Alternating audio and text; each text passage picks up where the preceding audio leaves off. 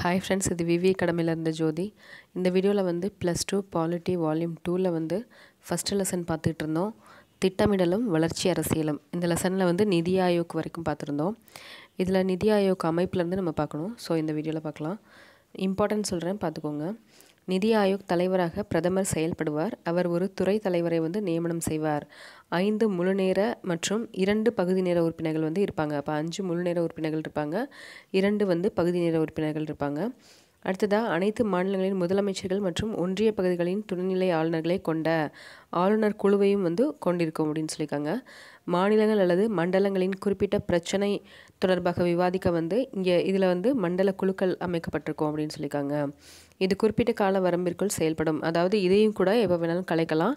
இது ஒரு சட்டத்தினால் உருவாக்கப்பட்டது கிடையாது. அதனால் இது வந்து குறிப்பிட்ட கால வரம்பிற்குள் செயல்படும். குறிப்பிட்ட துறைகளை சேர்ந்த நிபுணர்கள் வல்லுநர்கள் துறை வல்லுநர்கள் போன்றோரை சிறப்பு அதிகாரிகளாக அழைக்கும் உரிமை வந்து பிரதமருக்கு உண்டுன்னு சொல்லியிருக்காங்க. ஸோ நிதி ஆயோக்னாலே நீங்கள் வந்து பிரதமர் தான் எல்லாமே பண்ணுவார். அதாவது தலைவர்களை நியமிக்கிறது உறுப்பினர்களை நியமிக்கிறது எல்லாமே வந்து பிரதமர் தான் செயல்படுவார். ஸோ அதை ஞாபகம் வச்சுக்கோங்க. அடுத்ததாக பகுதி நேர உறுப்பினர்களாக முன்னணி பல்கலைக்கழகங்கள் மற்றும் ஆராய்ச்சி நிறுவனங்களை சேர்ந்தவர்கள் வந்து பகுதி நேர உறுப்பினர்களாக நியமிக்கப்படுவார்னு சொல்லியிருக்காங்க. அலுவல் சாரா உறுப்பினர்களாக மத்திய அமைச்சரவையிலிருந்து நான்கு மத்திய அமைச்சர்கள் வந்து நியமிக்கப்படுவார் அப்படின்னு கொடுத்துருக்காங்க. ஒரு தலைமைச் செயல் அதிகாரியும் நிதி ஆயோக் கொண்டிருக்கும். அடுத்ததாக இந்த பாக்ஸில் திட்ட ஆணையத்திற்கு பதிலாக நிதி ஆயோக் கொண்டு வரப்பட்டதோட காரணம் என்ன அப்படின்ற மாதிரி கொடுத்துருக்காங்க. ஸோ இதில் நான் இம்பார்ட்டன்ட் மட்டும் சொல்லியிருக்கேன் நீங்கள் ஓவராலாக இதை படிச்சுட்டு அதுக்கப்புறமா இம்பார்ட்டன்ஸ் பார்த்துக்கோங்க. இந்தியாவுக்கான தேசிய நிறுவனம் என்ற புதிய அமைப்பு என்ற ஒரு சிந்தனை குழுவாக இது செயல்படும். அதாவது திட்ட ஆணையத்துக்கு பதிலாக நிதி ஆயோக்கை சொல்லியிருக்காங்க. நிதி ஆயோக் அமைப்பு வந்து இந்தியாவில் இருபத்தொம்போது மாநிலங்கள் மற்றும் ஏழு ஒன்றிய பகுதிகளில் தலைவர்களை உள்ளடக்கியது. அதன் முழுநேர நிர்வாகிகளான துணை தலைவர் இவர் தான் வந்து முழுநேர நிர்வாகி. தலைமை தலை நிர்வாக அதிகாரி மற்றும் நிபுணர்கள் நிதி ஆயோக் தலைவர் பிரதமருக்கு நேரடியாக பதில் சொல்வார். ஆனால் திட்ட ஆணையத்தில் வந்து அந்த தேசிய குழுக்கிட்ட வந்து தான் அவங்களோட ஸ்டேட்மெண்ட்டை கொடுப்பாங்க. ஆனால் இந்த நிதி ஆயோக்கில் வந்து அவங்களுக்கு ஏதாவது ப்ராப்ளம்ஸ் அந்த மாதிரி இருந்துச்சுன்னா அந்த ஸ்டேட்மெண்ட் வந்து அவங்க டேரெக்டாக பிரதமர்கிட்டே சொல்லலாம். இதுதான் வந்து அதுக்குள்ள டிஃப்ரென்ஷியேஷன் அப்படின்னு மாதிரி சொல்லியிருக்காங்க. அடுத்ததான் நிதி ஆயோக் திட்டமிடலில் பெரும் ஆர்வம் காட்டுமாறு மாநில அரசுகளுக்கு வாய்ப்புகள் அளிக்கும் அப்படின்னு சொல்லப்பட்டு சொல்லப்பட்டிருக்குது. அதாவது மாநில அரசுகளுக்கு இங்கே வந்து முக்கியத்துவம் கொடுக்கப்படும். திட்ட ஆணைய பங்களிப்பு அப்படி இருந்துச்சுன்னா ஆலோசனை வழங்குதல் மட்டும்தான் திட்ட ஆணையத்தோட இருந்தது. ஆனால் நிதி ஆயோக்கில் வந்து மாநிலங்களோட தேவைக்கேற்ப ஆதாரங்களை ஒதுக்கீடு செய்யும் அதிகாரங்களை கொண்டிருக்கிறது மாநிலங்கள் அப்படின்ற மாதிரி சொல்லியிருக்காங்க. அதுதான் திட்டமிடல் கொள்கை வகிப்பதில் மாநில அரசுகளுக்கு அரிய வாய்ப்புகள் அளிப்பதில்லை. இது வந்து இதில் திட்ட ஆணையத்தில் இருந்துச்சு. ஆனால் மாநிலங்கள் நேரடியாக இல்லாமல் தங்கள் தேசிய வளர்ச்சி குழுவின் மூலம் மட்டுமே தங்கள் கருத்துக்களை கூற முடிகிற மாதிரி இருந்துச்சு. இந்த ரெண்டும் ஃபால்ட்டும் வந்து மாநிலங்கள் வந்து ஃபேஸ் பண்ணாங்க திட்ட ஆணையத்தில்னு சொல்லியிருக்காங்க. ஆனால் நிதி ஆயோக்கில் வந்து இது தொடராது அப்படின்ற மாதிரி சொல்லியிருக்காங்க. இதெல்லாம் தான் வந்து இது ரெண்டுக்கும் உள்ள டிஃப்ரென்ஷியேஷன் மாதிரி கொடுத்துருக்காங்க. அடுத்ததாக நிதி ஆயோகோட அமைப்பு பற்றி கொடுத்துருக்காங்க. ஃபஸ்ட்டு தலைவர் வந்து பிரதமர் அடுத்ததாக துறை தலைவர் இவர் வந்து பிரதமரால் நியமிக்கப்படுவார். அடுத்ததாக தலைமை நிர்வாக அதிகாரி இவரும் வந்து பிரதமரால் தான் நிர்வகிக்கப்படுவார் நிர்வகிக்க நியமிக்கப்படுவார். அடுத்ததாக முழு நேர உறுப்பினர்கள் நம்ம அஞ்சு பேர் பார்த்தோம். அடுத்ததாக பகுதி நேர உறுப்பினர்கள் வந்து அதிகபட்சம் இரண்டு நபர்கள் இருப்பாங்க. அடுத்ததாக அலுவல் சாரா உறுப்பினர்கள் வந்து அதிகபட்சம் நாலு பேர். இவங்க வந்து மத்திய அமைச்சரவையிலிருந்து எடுக்கப்படுவாங்க. அடுத்ததாக ஆளுநர் குழுவிற்கும் மண்டல குழுவிற்கும் குறிப்பிட்ட குறிப்பிட்ட துறைகளோட வல்லுநர்களும் இருப்பாங்க. ஸோ இது எல்லாமே வந்து நிதி ஆயோக்கோட அமைப்பு. இந்த ஒரு ஃப்ளோ சார்ட் பார்த்தாலே உங்களுக்கு வந்து ஃபுல்லாக நிதி ஆயோக்கோட அமைப்பு பற்றி தெரிஞ்சிடும். அடுத்ததாக நிதி ஆயோக்கோட நோக்கங்கள் கொடுத்துருக்காங்க. முன்னுரிமை திட்டங்களை அடையாளம் காண்பதில் மாநில அரசுகளையும் மத்திய அரசு இணைத்துக்கொள்வதன் மூலம் திட்டமிடல் செயல்முறையில் வந்து மாநிலங்களும் இணைக்கப்படுகின்றன. திட்டமிடல் செயல்முறையில் மாநிலங்களும் பங்களிக்க உள்ளதால் இது வந்து கூட்டுறவு கூட்டாட்சி அமைப்பாக செயல்படுகிறது அப்படின்னு சொல்லியிருக்காங்க. பொருளாதார வளர்ச்சியின் அனைத்து பிரிவு மக்களும் பயனடைகிறார்களா என்பது இது இதன் மூலமாக கண்காணிக்கப்படும் அப்படின்னு சொல்லியிருக்காங்க. அடுத்து வந்து ஒரு பாக்ஸ் கொடுத்துருக்காங்க. நிறுவன அமைப்பின் வேறுபாடுகள் அதாவது நிதி ஆயோக்குக்கும் திட்ட ஆணையத்துக்கும் உள்ள வேறுபாடு வந்து கொடுத்துருக்காங்க. ஸோ நான் இம்பார்ட்டன்ட் மட்டும் சொல்கிறேன் ஓவரால் நீங்கள் இந்த பாக்ஸை வந்து பார்த்துக்கோங்க. இம்பார்ட்டன்ட் தான் அது. இதோட தலைவர் அதாவது ரெண்டுக்குமே தலைவர் வந்து பிரதமர் தான். இதோட துணைத் தலைவர் வந்து பிரதமரால் நியமிக்கப்படுவார். திட்ட ஆணையத்தில் வந்து துணைத் தலைவர் கேபினட் அமைச்சர் தகுதி கொண்ட ஒருவர் வந்து நியமிக்கப்படுவார். அடுத்ததாக ஆளுநர் குழு இதில் யார் இருப்பாங்கன்னு பார்த்தா முதலமைச்சர்களும் மற்ற துணைநிலை ஆளுநர்கள் இருப்பாங்க. ஆனால் திட்ட ஆணையத்தில் வந்து தேசிய வளர்ச்சி குழு அப்படின்ற மாதிரி இருந்துச்சு. அடுத்ததாக உறுப்பினர் செயலர் அப்படிங்கிறவர் வந்து பிரதமரால் நியமிக்கப்படுவார். இவர் தலைமை நிர்வாக அதிகாரி என்றுன்னு அழைக்கப்படுவார். இங்கேயும் அதே மாதிரி சிலைகள் அல்லது உறுப்பினர் செயலர்கள் வழக்கமான செயல்முறைகளின் கீழ் நியமிக்கப்படுகிறார்கள். அடுத்ததாக நிதி ஆயோக்கில் வந்து தேவையை பொறுத்த பொது பகுதி நேர உறுப்பினர்கள் வந்து நியமிக்கப்படுவாங்க. ஆனால் திட்ட ஆணையத்தில் அப்படி ஒரு வாய்ப்பே இல்லை. அங்கே வந்து பகுதி நேர உறுப்பினர்களுக்கு உண்டான வாய்ப்பு கிடையாது. அடுத்ததாக நிதி ஆயோக்கில் வந்து முழுநேர உறுப்பினர்கள் அப்படிங்கிறது வந்து ரொம்ப கம்மியாக தான் இருப்பாங்க. நம்ம அஞ்சு பேர் தான் பார்த்தோம் இல்லையா? ஆனால் இங்கே வந்து அதாவது திட்டாணையத்தில் வந்து கடைசி திட்டாணையத்தில் வந்து எட்டு முழுநேர உறுப்பினர்கள் இருந்திருக்காங்க அப்படின்னு சொல்லப்படுது. ஸோ இது ரெண்டுக்குள்ள டிஃப்ரெண்ட்டும் பார்த்துக்கோங்க இதில் வந்து உங்களுக்கு கூற்று காரணங்களை கூட கெடு கேட்கலாம். அடுத்ததாக புத்தி புதிய திட்டங்களை முன்னெடுப்பது மற்றும் திட்டங்களை நடைமுறை நடைமுறைப்படுத்துவதற்கான தொழில்நுட்பங்களை பயன்படுத்தி கொள்ளுதல் மற்றும் தகுதிப்படுத்தலுக்கு நிதி ஆயோக் வந்து அதிக அழுத்தம் தருகிறதுன்னு கொடுத்துருக்காங்க. அடுத்ததாக நிதி ஆயோக் தொடங்கப்பட்ட பின்னர் முன்முயற்சி மேற்கொண்ட சில திட்டங்கள் வருமாறு. அதாவது நிதி ஆயோக் வந்ததுக்கப்புறமா முன்னெடுக்கப்பட்ட சில திட்டங்களை பற்றி கொடுத்துருக்காங்க. பதினைந்து ஆண்டு செயல் திட்டம் ஏழு ஆண்டு கண்ணோட்டம் அப்படின்னு கொடுத்துருக்காங்க. நகர்ப்புற மாற்றம் மற்றும் மறு உருவாக்கத்திற்கான அடல் திட்டம் டிஜிட்டல் இந்தியா திட்டம் அடுத்ததாக அடல் புத்தாக்க திட்டம் போன்றவைகள்லாம் சொல்லியிருக்காங்க. ரெண்டாயிரத்தி பதினெட்டு டு இருபத்தி ரெண்டு காலகட்டத்திற்கான வளம் குன்றா வளர்ச்சி வடிவமைப்பு ஒன்று வந்து நிதி ஆயோக் கையொப்பமிட்டுள்ளது அப்படின்னு கொடுத்துருக்காங்க. அடுத்ததாக திட்டக்குழு கலைக்கப்பட்டதால் தமது வருவாய் ஆதாரங்கள் பறிக்கப்பட்டுள்ளதாக பல மாநில அரசுகள் வந்து தங்கள் கவலைகளை வெளிப்படுத்தியுள்ளனன்னு சொல்லியிருக்காங்க. ஸோ இது வந்து திட்ட ஆணையம் கலைக்கப்பட்டதுனால மாநிலங்களோட முன்னுரிமை வந்து அதிகமாக குறைக்கப்பட்டிருக்குது. இந்த நிதி ஆயோக் மூலமாக அப்படின்னு மாநிலங்கள் வந்து குறை சொல்லியிருக்காங்க. அடுத்ததாக இந்தியாவில் நில சீர்திருத்தங்கள் இந்த ஹெட்டிங் கீழே நாடு விடுதலை அடைந்த போது நிலம் ஒரு சில கைகளில் மட்டுமே குவிந்து இருந்தது. இதுவே நிலமற்ற விவசாயிகள் மற்றும் தொழிலாளர்கள் சுரண்டப்படுவதற்கு விட்டு சென்றது. இந்தியா விடுதலை அடைந்த தருணத்தில் நாட்டில் பல இடங்களில் அதாவது தெலுங்கானா திருவிதாங்கூர் ஒருங்கிணைந்த தஞ்சை மாவட்டங்கள் விவசாய போராட்டங்கள் வந்து வெடித்தன. இத்தருணத்தில் நில உடைமையாளர்கள் தங்களிடம் அதிகமாக உள்ள உபரி நிலங்களை தானமாக வழங்கும் பூமிதான இயக்கத்தினை வந்து வினோபாபாவை வந்து தொடங்கினார். இவ்வாறு பெறப்பட்ட உபரி நிலங்கள் வந்து நிலமற்ற ஏழைகளுக்கு வழங்கப்பட்டன. ஏழை விவசாயிகளுக்கு உதவும் வகையில் சர்வோதயா இயக்கம் கூட்டுறவு சங்கங்களை அமைத்து வலுப்படுத்தின. ஸோ ரெண்டுமே வந்து அந்த இடத்துல தொடங்கப்பட்டிருக்குது. ஒன்று வந்து பூமிதான இயக்கம். இது வந்து வினோபா பாவே மூலமாக நடத்தப்பட்டிருக்குது. சர்வோதயா இயக்கம். இது வந்து கூட்டுறவு சங்கங்களை அமைத்து வலுப்படுத்தின. தமிழ்நாட்டில் கிராமப்புற மக்கள் மத்தியில் பூமிதான இயக்கமும் சர்வோதயா இயக்கமும் வலுப்பெறதுக்கு ஜெகநாதன் மற்றும் கிருஷ்ணம்மாள் தம்பதியர் வந்து அடு அரும் பாடுபட்டனர் அப்படின்னு கொடுத்துருக்காங்க. ஸோ அதை தான் இங்கே அந்த ஃபோட்டோஸ் கொடுத்து கொடுத்துருக்காங்க. ஜெகநாதன் மற்றும் கிருஷ்ணம்மாள். இவங்க ரெண்டு பேரும் வந்து தமிழ்நாட்டில் பூமிதான இயக்கமும் சர்வோதய இயக்கமும் வலுப்பெறதுக்காக பாடுபட்டவங்க. நிலம் சமமாக பிரித்து வழங்கப்பட வேண்டும் என்பதுதான் சுதந்திர இந்தியாவில் கவனம் பெற்ற முதல் பிரச்சனையாக அமைந்தது. ஆயிரத்தி தொள்ளாயிரத்தி ஐம்பதுலேருந்து அறுபதுகளில் வந்து நில உச்சவரம்பிற்கான சட்டங்கள் வந்து பல்வேறு மாநிலங்களில் இயற்றப்பட்டன அப்படின்னு கொடுத்துருக்காங்க. நில உச்சவரம்னா அதிகமான நிலத்திலிருந்து அதிகமான நிலம் யார் வச்சுருக்காங்களோ அவங்கக்கிட்ட இருந்து அவங்களுக்கு தேவையான நிலத்தை கொடுத்துட்டு மீதியை வாங்கி அது வந்து ஏழைகளுக்காகவும் நிலமற்ற விவசாயிகளுக்காகவும் வழங்கப்பட்டது. இதுதான் வந்து நில உச்சவரம்பு. ஆயிரத்தி தொள்ளாயிரத்தி எழுபத்தி ஆறில் இந்திய அரசமைப்பு முகப்புறையில் சமதர்மம் என்ற சொல் சேர்க்கப்பட்டது. நிலச்சிருத்தங்கள் பொறுத்தவரை நான்கு பிரிவுகளாக வகைப்படுத்த முடியும் அப்படின்னு சொல்லியிருக்காங்க. முதல் பிரிவு வந்து குத்தகை விவசாய முறை தொடர்பான சட்டங்களை இயற்றுவதாகும். இச்சட்டங்கள் மூலமாக குத்தகை விவசாய ஒப்பந்தங்கள் முறைப்படுத்தப்பட்டன கொடுத்துருக்காங்க. இரண்டாவதாக இடைத்தரகர்களை வந்து ஒழிக்கிறது. இடைத்தரகர் முறை பெரும்பாலும் அனைத்து மாநிலங்களும் ஆயிரத்தி தொள்ளாயிரத்தி ஐம்பத்தெட்டுக்கு முன்னதாகவே வந்து தடை செய்யப்பட்டது அப்படின்னு சொல்லியிருக்காங்க. மூன்றாவதாக நில சீர்திருத்த சட்டங்கள் வந்து ஒருவர் எவ்வளவு நிலத்தை உரிமையாக வைத்துக்கொள்ளலாம் என்பதை வரையறை செய்வதாகும். ஸோ இதுதான் இப்போ நான் சொன்னேன். இதன் மூலம் உபரி நிலங்கள் வந்து எடுத்துக்கொள்ளப்பட்டு நிலமற்ற ஏழைகளுக்கு மறுபீடு மறுபங்கீடு வந்து செய்யப்பட்டது. நாம் மாறுபட்ட நிலங்களை வைத்திருப்பது தொடர்பானதாகும். இவ்வாறான நில சீர்திருத்த சட்டங்கள் வந்து வேளாண்மையில் அதிக விளைச்சல் பெறுவதையும் வறுமை குறைப்பையும் நோக்கமாக கொண்டவையாகவும் கொடுத்துருக்காங்க.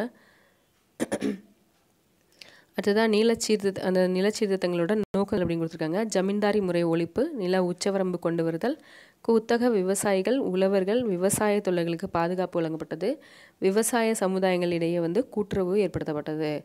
அடுத்ததாக இடைத்தரகர் முறை ஒழிப்பு இந்த ஹெட்டிங் கீழே. இடைத்தரகர்கள் எனப்படும் ஜமீன்தார்கள் ஜாகீர்தாரர்கள் போன்றோரை அகற்றுவதாகும். இதன் மூலம் உழுபவனுக்கே நிலம் சொந்தம் என்னும் முறை வந்து கொண்டு வரப்பட்டது அப்படின்னு கொடுத்துருக்காங்க.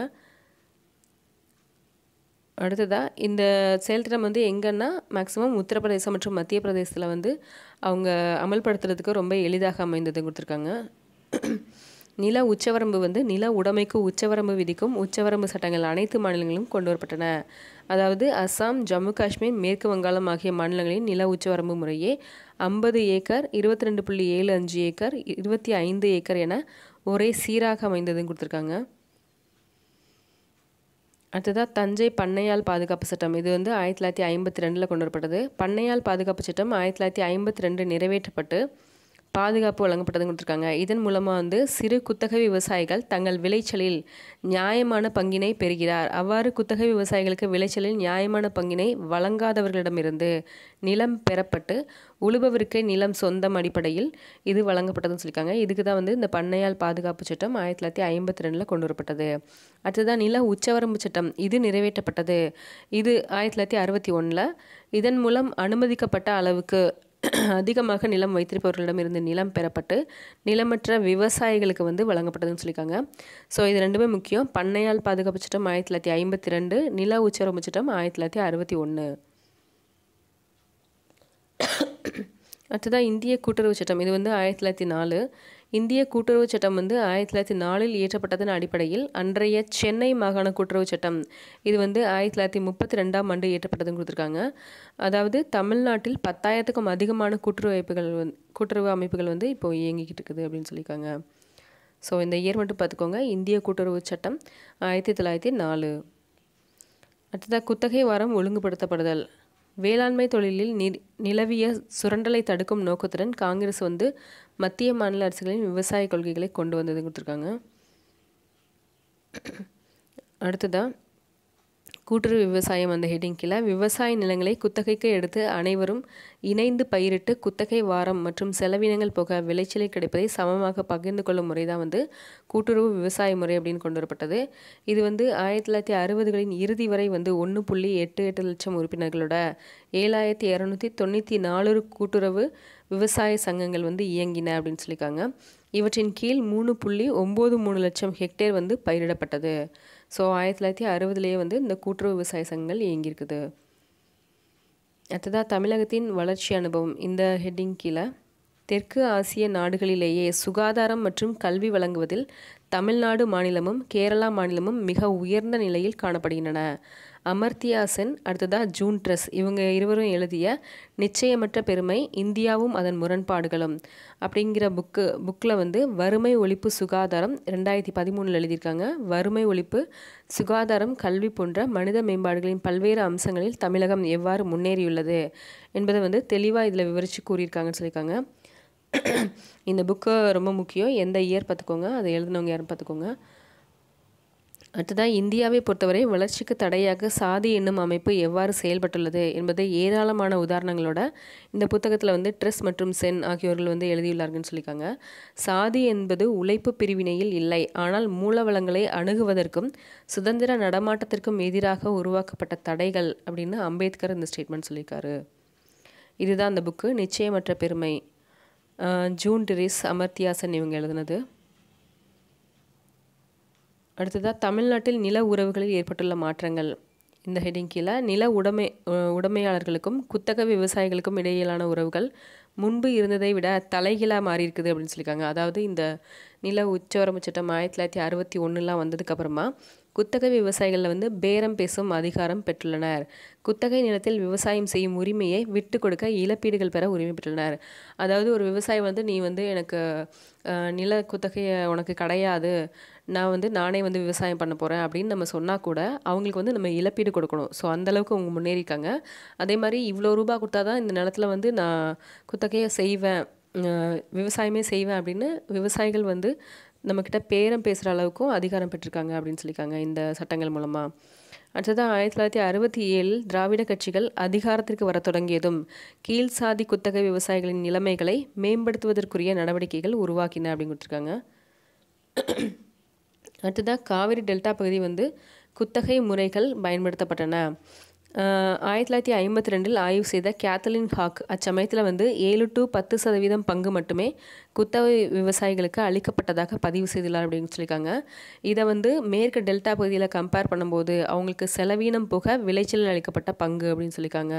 ஸோ அதாவது இங்கே வந்து ரொம்ப கம்மியாக கொடுத்துருக்காங்கன்னு சொல்கிறாங்க இத்தகைய சுரண்டலுக்கும் முறைகேடான பகிர்மானத்திற்கும் எதிராக இம்மாவட்டத்தில் வந்து ஆயிரத்தி தொள்ளாயிரத்தி நாற்பத்தி மூணில் பொது உடைமை கட்சியால் விவசாயிகள் சங்கம் தொடங்கப்பட்டது அப்படின்னு சொல்லியிருக்காங்க. அதாவது மேற்கு டெல்டா பகுதிகளில் கொடுக்கப்படுறதை விட இந்த காவிரி டெல்டா பகுதிகளில் கொடுக்கப்படுற இந்த குத்தகை முறைகள் வந்து ரொம்ப கம்மியாக இருந்தது. பர்சன்டேஜ் ரொம்ப கம்மியாக இருந்தது அப்படின்னு சொல்லப்பட்டிருக்குது. திராவிட விவசாய தொழிலாளர் சங்கம் என்னும் அமைப்பினை திராவிட கழகம் உருவாக்கியது அப்படின்னு கொடுத்துருக்காங்க. அடுத்ததாக பொது உடைமை கட்சியால் ஆயிரத்தி தொள்ளாயிரத்தி ஐம்பத்தி ரெண்டு விவசாய தொழிலாளர் சங்கமும் தொடங்கப்பட்டது. ஆயிரத்தி தொள்ளாயிரத்தி அறுபத்தி எட்டில் நிறைவேற்றப்பட்ட தமிழ்நாடு பயிரிடும் குத்தகைதாரர்கள். இந்த சட்டம் வந்து குத்தகை பாங்கினை எளிமையான தவணை முறைகளில் செலுத்துவதை அனுமதித்தது. இதனால் குத்தகை விவசாயிகள் வந்து சுமை குறைந்தது. முன்னர் நிறைவேற்றப்பட்ட குத்தகை பாதுகாப்பு சட்டங்கள் வந்து திறமையாக நடை நடைமுறைப்படுத்தப்படாததற்கு குத்தகை விவசாயிகளை பதிவு செய்யும் முறை இல்லாமல் இருந்தது காரணமாக இருந்தது அப்படின்னு சொல்லியிருக்காங்க. ஸோ அவங்களுக்கு உண்டான சரியான அந்த குத்தகை முறை கிடைக்கல அப்படிங்கிறதுக்கு முக்கிய காரணம் வந்து விவசாயிகளை பதிவு செய்யும் முறை வந்து அவங்களுக்கு இல்லாமல் இருந்ததுன்னு சொல்லியிருக்காங்க. இதனை நிறைவு செய்யும் வகையில் வந்து குத்தகை விவசாயிகளை பதிவு செய்வதற்கான பிரிவுகள் வந்து குத்தகை பாதுகா பாதுகாப்பு சட்டங்களில் யாரால் கொண்டு வரப்பட்டதுன்னா திராவிட ஆட்சிகளின் போது சேர்க்கப்பட்டன அப்படி கொடுத்துருக்காங்க. தமிழ்நாடு விவசாய நிலங்கள் வந்து பதிவு சட்டம் ஆயிரத்தி தொள்ளாயிரத்தி அறுபத்தி ஒம்போதின் படி குத்தகை விவசாயிகள் விவரங்களை பதிவு செய்வதை சட்டமாக்கியது அப்படின்னு கொடுத்துருக்காங்க இந்த சட்டத்தின் கீழ் அன்றைய ஒருங்கிணைந்த தஞ்சை மாவட்டத்தில் மட்டும் குத்தகை விவசாயிகளாக சுமார் ஐந்து லட்சம் விவசாயிகளும் குத்தகை நிலங்களாக சுமார் ஏழு லட்சம் ஏக்கர் நிலமும் வந்து பதிவு செய்யப்பட்டன. அதாவது பதிவு செய்யும் முறையை வந்து கொண்டு வந்துட்டாங்க ஆயிரத்தி தொள்ளாயிரத்தி அறுபத்தி ஒம்போதில். அதன்படி இத்தனை லட்சம் நிலங்கள் இத்தனை லட்சம் விவசாயிகள் வந்து பதிவு செஞ்சாங்கன்னு சொல்லப்படுது. ஆயிரத்தி தொள்ளாயிரத்தி எழுபத்தி ஒம்போதில் குத்தகை சட்டத்தில் மேற்கொள்ளப்பட்டுள்ள திருத்தங்கள் குத்தகை விவசாயிகள் அளிக்க வேண்டிய பங்கினை இருபத்தைந்து சதவீதமாக குறைத்ததுடன் இயற்கை பேரிடர் காரணமாக குத்தகை செலுத்த முடியாத நிலை ஏற்படும் இல்லையா விவசாயிகளுக்கு? அந்த நேரத்தில் விவசாயிகளை வந்து அந்த லிஸ்ட்லேருந்து எடுத்துருவாங்க. அப்படி இல்லாமல் வெளியேற்றப்படுவதையும் வந்து தடை செய்தது அப்படின்னு கொடுத்துருக்காங்க. குடியிருப்போர் உரிமை உறுதிப்படுத்தும் சட்டம் ஆயிரத்தி தொள்ளாயிரத்தி எழுபத்தி ஒன்றில் குத்தகை விவசாயிகள் மற்றும் நிலமற்ற விவசாய தொழிலாளர்களின் நலன்களை பாதுகாப்பதில் வந்து முக்கிய மைல்கல்லாக இது சொல்லப்படுதுன்னு சொல்லியிருக்காங்க. இந்த முக்கிய சட்டம் வந்து நில உடைமைத்துவத்தில் இருந்து நிலமற்ற விவசாயிகளை விடுதலை செய்தது. அடுத்த ஆண்டு அதாவது ஆயிரத்தி தொள்ளாயிரத்தி எழுபத்தி ரெண்டில் தமிழ்நாடு அரசு மற்றொரு சட்டம் இயற்றி அதனை வந்து அனைத்து குத்தகை பாக்கிகளை ரத்து செய்ததுன்னு கொடுத்துருக்காங்க. ஸோ இந்த பாக்ஸில் இருக்கிறதெல்லாம் வந்து ரொம்ப முக்கியம்தான். நீங்கள் ஒன்ஸ் படிச்சுட்டு அதுக்கப்புறமா நான் இம்பார்ட்டன்ட் குறிச்சிருக்கிறத மட்டும் நல்லா படிச்சுக்கோங்க. அவ்வளோதான் ஃப்ரெண்ட்ஸ் இதோட மீதி பேலன்ஸ் லெசனை அடுத்த வீடியோவில் பார்க்கலாம். தேங்க்யூ